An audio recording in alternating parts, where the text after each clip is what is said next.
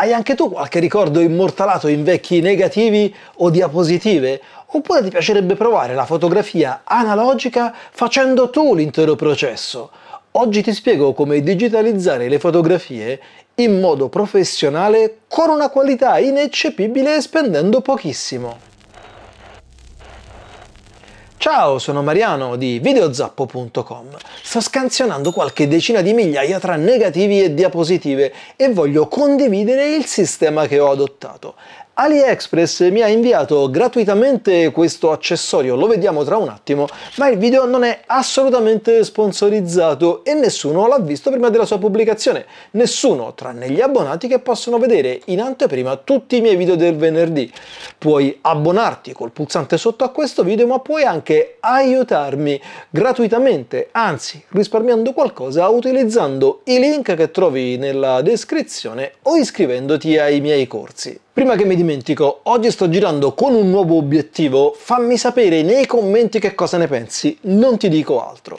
Quello che faremo oggi è prendere dei negativi, nello specifico a colori, se li hai in bianco e nero non cambia nulla, o delle diapositive, e li trasformeremo in file digitali. Lo faremo molto velocemente, ti mostrerò l'intero processo, il risultato finale sarà un file digitale professionale, pronto per essere stampato o per essere utilizzato in qualunque altra maniera anche professionalmente. Quello che ci occorre ovviamente è una fotocamera, io sto utilizzando la Sony A7C è un obiettivo. Se è un obiettivo macro tanto meglio, va bene praticamente qualunque cosa, anche lo zooming kit. In questo caso avrai bisogno, come ho fatto io, dei tubi di prolunga. Io in realtà sto utilizzando un vecchissimo obiettivo macro di Nikon, è il Micro Nikkor 55 mm. Non è di certo un ottico al passo con i tempi, ma va assolutamente bene per quello che dobbiamo fare. Poi hai bisogno di questo accessorio di JJC che mi ha inviato AliExpress. Questo oggetto che cosa fa praticamente? monta davanti all'obiettivo attaccato alla filettatura dei tubi che servono a distanziare questo oggetto qua che è il nostro porta negativi dotato di questo diffusore per illuminare uniformemente la nostra foto, le foto andranno montate a seconda che siano negativi o diapositive su questi appositi supporti, lo vediamo tra un istante e con i vari pezzi che hai a disposizione puoi gestire la distanza tra l'obiettivo, l'elemento frontale e la diapositiva inserita in questo apposito supporto e tramite questi adattatori, ce ne sono svariati compresi nel kit per tutti i diametri più comuni, puoi collegare questi tubi qui al filetto presente davanti all'obiettivo. In questo modo ottieni un oggetto praticamente rigido che ti permette di mantenere le fotografie sempre in asse, sempre alla stessa distanza, dunque di andare davvero velocissimo. Mi sarebbe piaciuto che questi tubi, anziché essere due uguali, vedi io alla fine non ne ho usato nessuno, ho fatto un sistema un po' diverso utilizzando degli adattatori che erano sempre nel kit, ma mi sarebbe piaciuto se avessero avuto delle dimensioni differenti, sarebbe stato l'ideale averne tre di tre lunghezze differenti per gestire al meglio questa distanza che è quella che ti permette di gestire la dimensione che poi occuperà l'immagine sul sensore. Lo vediamo comunque meglio tra un istante. Poi ti serve una fonte di luce, io ho scelto questo illuminatore di Viltrox, vedi che è bello potente, ho scelto questo perché? Perché è estremamente versatile, ha un aspetto un po' sopra le righe, però ha un'ottima qualità della luce, dunque riproduce molto accuratamente i colori, è bello potente, adesso lo stai vedendo al 50% della sua intensità, è anche RGB, insomma è un illuminatore estremamente versatile, la batteria incorporata dura davvero un sacco, è magnetico, un oggetto molto comodo. Poi ti servirà un supporto, io sto utilizzando questo di Small Rig, è un treppiede video estremamente robusto, insomma assolutamente sovradimensionato per quello che dobbiamo fare, lo sto usando semplicemente perché ce l'ho, è bello solido, ora qui Chiaramente per farti vedere quello che sto facendo c'è poco spazio, ma posso spostare questo intero oggetto senza alcun problema, per cui lo posso lasciare montato in giro per lo studio senza dovermene preoccupare. Ho usato questo perché tramite questa manopola che in realtà servirebbe per gestire la testa, ci ho collegato con questo clamp e il braccetto la luce. In questo modo è praticamente tutto fisso e io questo oggetto lo posso spostare e lo posso spostare senza alcun problema. Ti servirà poi una pompetta per soffiare aria sui negativi, questa è la Giottos, la mia preferita, ci sono modelli molto più economici, comoda può essere una lente di ingrandimento, un loop, questo è fatto apposta per le diapositive 35 mm, un oggetto di 30 anni fa, fa, se non hai particolare dimestichezza nel maneggiare i negativi o comunque se hai la pelle grassa, può essere una buona idea utilizzare dei guanti, magari di cotone sarebbe meglio. La preparazione di questo setup per digitalizzare negativi e diapositive è piuttosto semplice, devi scegliere i tubi di prolunga adatti a farti inquadrare un qualcosa di leggermente più largo della diapositiva. Ci vuole un po' di spazio intorno in modo tale che in post produzione potrai ritagliare leggermente la foto, ma di sicuro l'hai inquadrata tutta. Se esageri, perdi in risoluzione, bisogna calibrare questa dimensione. Fatto questo, dovrai scegliere la prolunga giusta rispetto all'obiettivo che stai utilizzando per porre il sistema, questo qua dove si inseriscono le diapositive alla giusta distanza dall'obiettivo e utilizzare l'adattatore giusto per collegare il tubo che hai scelto al tuo obiettivo. Avviti davanti il porta diapositiva e a questo punto ti manca soltanto la luce. Con questo oggetto potresti utilizzare anche banalmente una finestra, quello che preferisci. L'importante è che la luce sia di buona qualità. La luce naturale va più che bene, ma non utilizzare della luce artificiale di qualità scadente perché in quel caso non riprodurrai correttamente i colori delle tue foto. Utilizzare un pannellino LED come ho fatto io di buona qualità ti mette a riparo da tutto quello che può succedere qua intorno e queste condizioni diventano completamente costanti per cui non devi più pensare alle impostazioni della macchina fotografica, già sai che l'esposizione è quella e le foto verranno tutte perfettamente identiche. JJC vende anche un pannellino apposito che si applica su questo oggetto, per cui non avresti neanche bisogno di tutto l'accrocco che ho costruito io per tenere fermo il pannello. È chiaro che se hai una buona luce LED già disponibile è inutile che acquisti anche questo ulteriore accessorio. Una volta che è tutto pronto e bello rigido, puoi, iniziamo dalle diapositive, inserire il porta diapositive all'interno di questa fessura. A questo punto dobbiamo preparare gli originali. Scegli la foto da cui vuoi iniziare, puoi aiutarti con la lente di ingrandimento per sceglierle. Io ad esempio inizierò da questa qua. Per prima cosa la soffio con la pompetta per togliere l'eventuale polvere, devi individuare il verso corretto. Con questo tipo di telaglietto è molto facile, il lato giusto è quello bianco. In ogni caso, se guardi la foto così verso una luce facendola riflettere, il lato che deve stare verso l'obiettivo è quello più lucido, questo è quello opaco, questo è quello lucido. Il lato lucido va verso l'obiettivo. Anche se la foto è verticale, la inserisco ovviamente in orizzontale nel suo porta diapositive perché così sfrutterò al meglio il sensore. Non la metto ancora al suo posto e tra un po' capirai il perché. I negativi vanno preparati in maniera lievemente differente e qui devi fare un pochino più attenzione a maneggiarli. Vanno presi per i bordi e non devi mai toccare, questo è abbastanza evidente, l'immagine con le dita. Il porta negativi è un pochino più antipatico da utilizzare rispetto al contenitore per le diapositive. Ci sono dei fermi qua laterali che ti permettono di mettere il negativo in posizione, avere un tavolo luminoso potrebbe essere di grande aiuto e una fase critica è questa qua. Il momento in cui vai a chiudere devi essere delicato perché altrimenti rischi di spostare il negativo. Anche in questo caso dobbiamo soffiare per togliere via l'eventuale polvere a questa maniera qua e siamo anche qua pronti per utilizzarlo.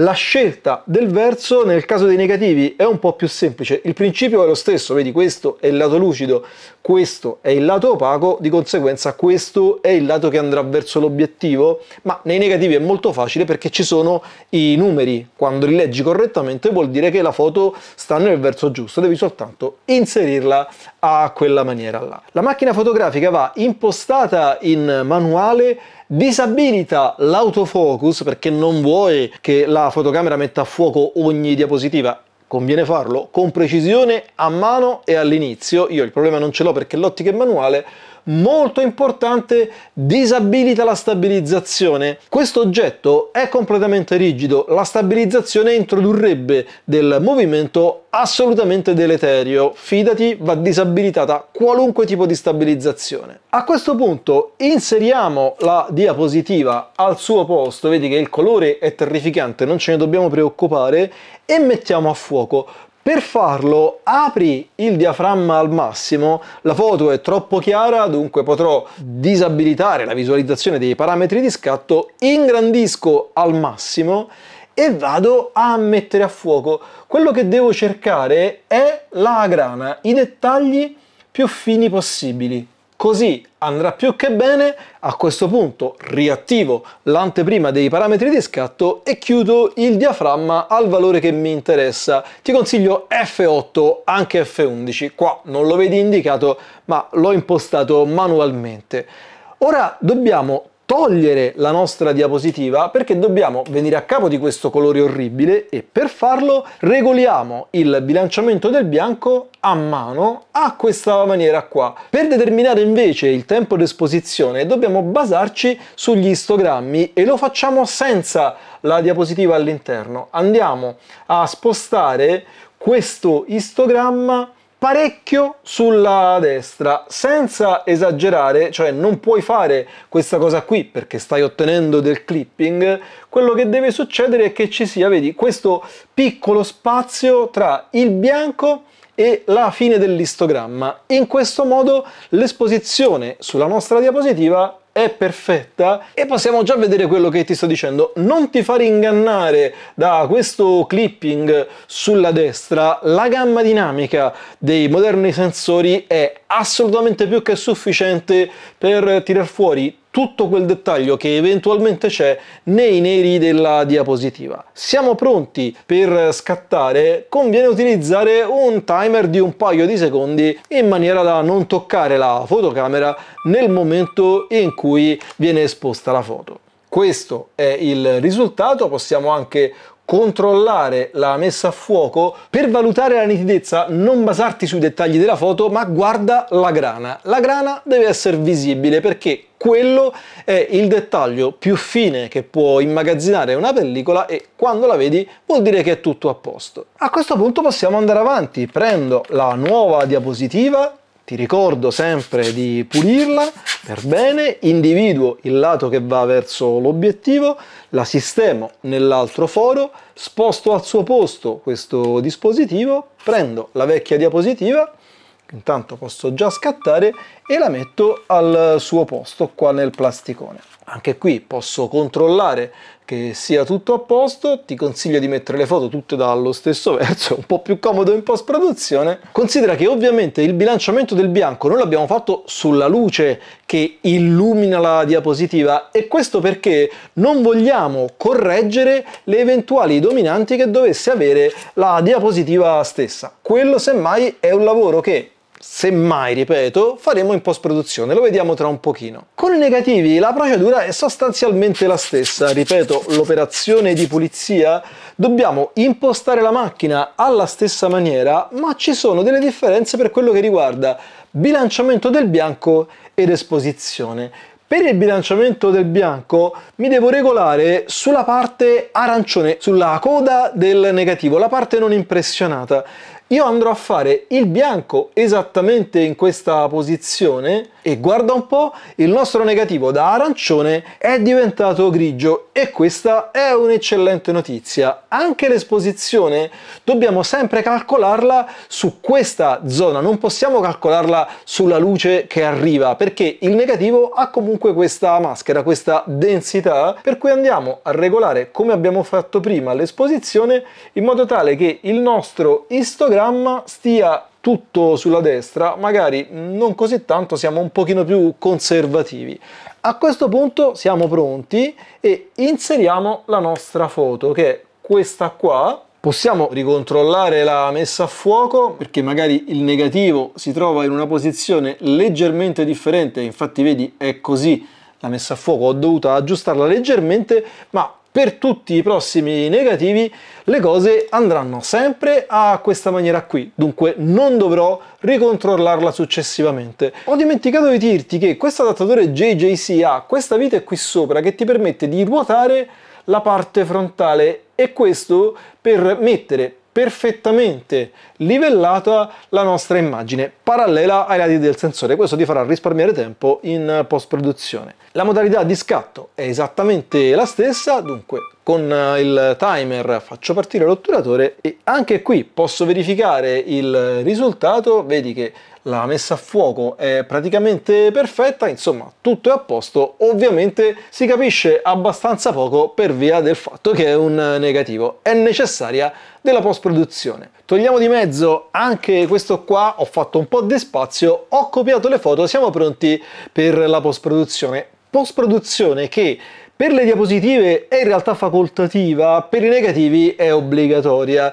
Cerchiamo di capire come fare. Puoi utilizzare l'editor che preferisci. Io ti consiglierei Photoshop perché gestisce i livelli di regolazione e questo è molto comodo. Puoi utilizzare Lightroom Classic con i negativi è un po' più complicato perché i cursori funzionano al contrario, ma si può utilizzare. Se ti interessa approfondire questi temi, fammelo sapere nei commenti. Noi utilizzeremo Luminar Neo e tra un attimo capirai anche il perché. In ogni caso ho corsi su tutti questi software, cioè su Lightroom Classic e su Luminar Neo, te li lascio linkati scontati in descrizione dove trovi anche tutti i link ai prodotti e agli accessori che abbiamo visto e che abbiamo utilizzato per realizzare questa digitalizzazione. Dunque prendiamo la prima foto, ci spostiamo in modifica e la prima cosa che farei è ritagliare questa foto dopo averla ruotata e posso ritagliarla più o meno a questa maniera qua molto rapidamente. Vedi che c'è abbastanza poco da fare. Qui abbiamo della polvere che possiamo togliere. Vedi è rimasto questo pezzettino. Possiamo vedi togliere anche questa cosa qua quest'altra qua.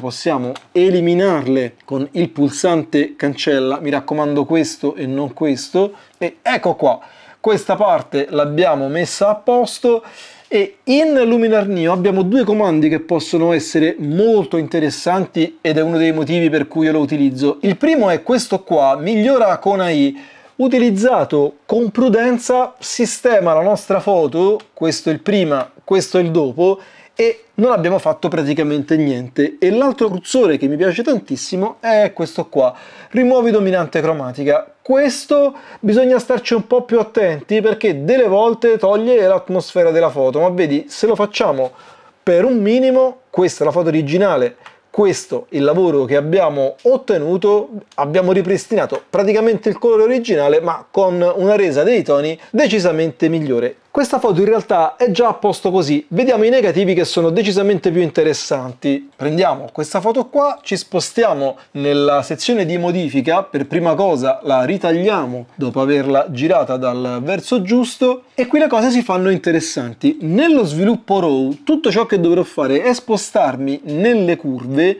e invertire questa curva. In questo pannello di sviluppo non faccio altro e non lo faccio perché se io adesso intervengo ad esempio con l'intelligenza artificiale posso migliorare drasticamente questa foto con un singolo cursore e poi c'è uno dei miei controlli preferiti, il rimuovi dominante cromatica che con i negativi colore fa davvero un gran bel lavoro. La foto è praticamente già a posto ma a questo punto io posso lavorare sullo nello sviluppo, per esempio, aggiungendo del contrasto, magari che ne so, diminuendo un po' l'esposizione, posso anche usare dai controlli professionali l'armonia dei colori, per esempio aggiungere un po' di caldo e un po' di brillantezza, che diciamo sono cose che tendenzialmente funzionano. La cosa interessante è che io posso ovviamente creare un preset o anche solo applicare queste stesse impostazioni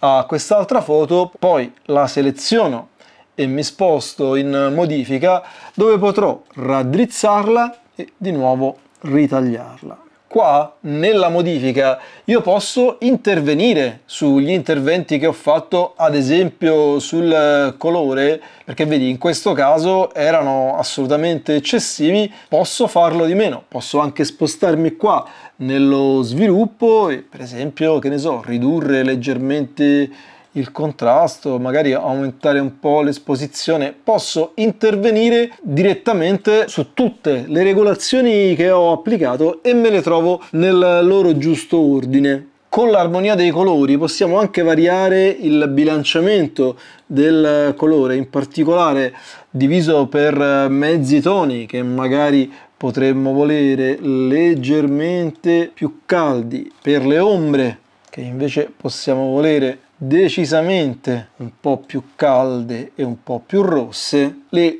luci invece mi sembra che vadano già sostanzialmente bene, al limite possiamo ecco, fare appena questa cosa qua. E ti faccio vedere così è senza, così è con, senza e con. Lavorare sui negativi, hai visto, è un po' più complicato di quello che succede con le diapositive. Io ho elaborato dei preset che mi aiutano in questa operazione, l'ho fatto tanto per Luminar, per le cose da fare velocemente, quanto per Lightroom Classic e per Photoshop, dove il preset non esiste, insomma ci sono le azioni.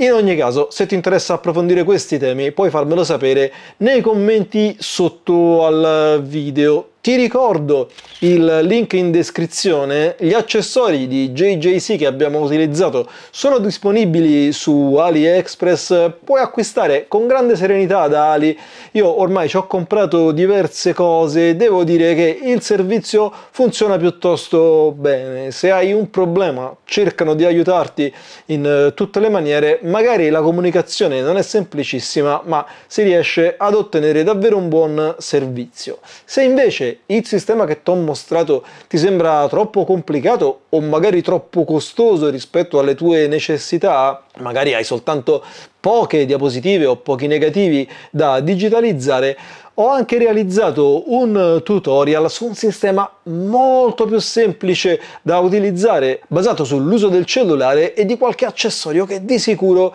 hai già in casa. Se devi fare tante diapositive o tanti negativi è di sicuro scomodo ma se sono pochi risparmi un sacco di soldi e si ottengono comunque dei risultati assolutamente ragguardevoli. Ti linko il video qui accanto, dagli un'occhiata dammi anche una mano col canale, metti un like a questo video, fammi sapere che ti è piaciuto, lascia un commento, usa il pulsante grazie sotto a questo video, ma soprattutto ricordati, non smettere mai di imparare. Ci vediamo nel prossimo video.